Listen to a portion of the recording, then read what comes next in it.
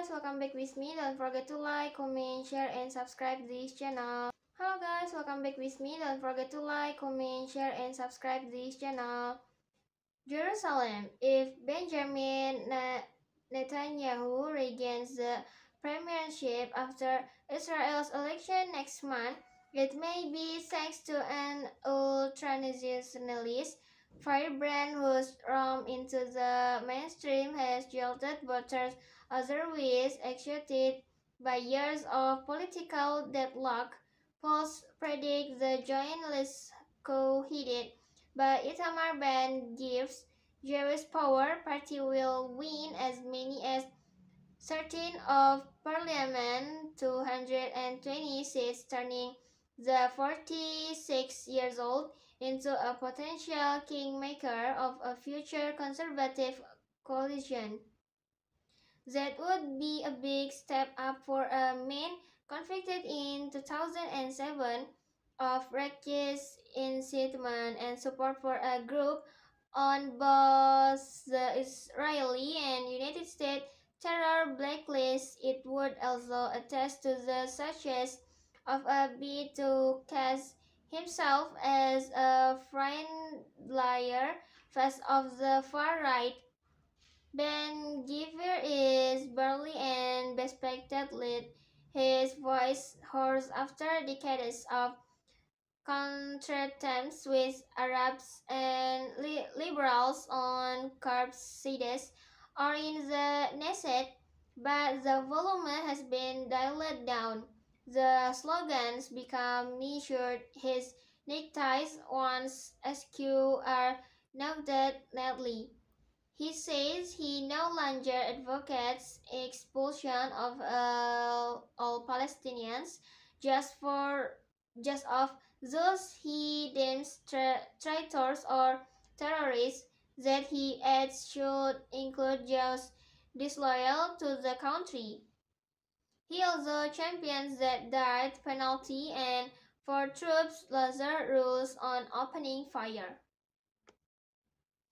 Ben Gvir used to brand gay pride predes as abomination.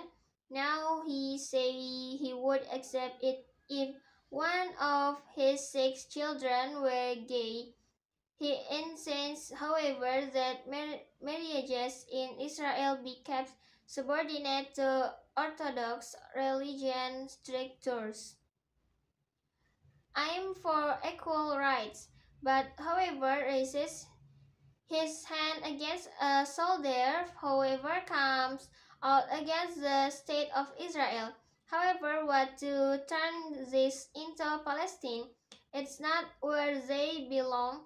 Ben-Gvir told Reuters during a campaign stop at at a Jerusalem market, where vendors feted him with free drinks and watermelon. The slogans become measured. His neckties, once askew, are noted neatly. He says he no longer advocates expulsion of uh, all Palestinians just for just of those he deems tra traitors or terrorists that he adds should include those disloyal to the country.